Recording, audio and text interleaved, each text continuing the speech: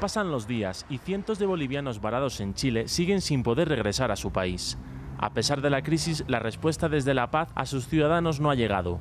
Estos trabajadores se sienten abandonados, ya que en plena pandemia el cierre de fronteras decretado por Yanine Áñez les impide volver con sus familias. Lo que precisamos es una pronta solución urgente, porque aquí hay familias con hijos hay mujeres embarazadas, eh, hay personas de tercera edad, hay, hay personas discapacitadas. Nos sentimos abandonados lastimosamente a nuestra suerte. Los únicos que nos, nos, han estado colaborando hasta ahora son los, nuestros hermanos chilenos, ¿ya? Pero de parte boliviana no ha habido ninguna respuesta. Ante esta situación, muchos decidieron acampar frente al consulado boliviano en Santiago. Quieren respuestas y poder cruzar su frontera.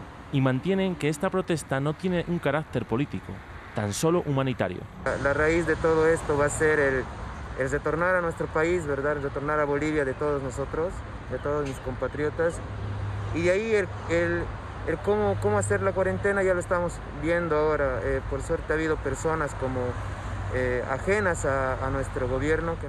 Chile ha instado en más de una ocasión a Bolivia a solucionar esta situación, que además es un evidente problema sanitario, ya que cientos de personas permanecen hacinadas en un espacio muy pequeño en plena crisis del coronavirus, y a pesar de las restricciones chilenas.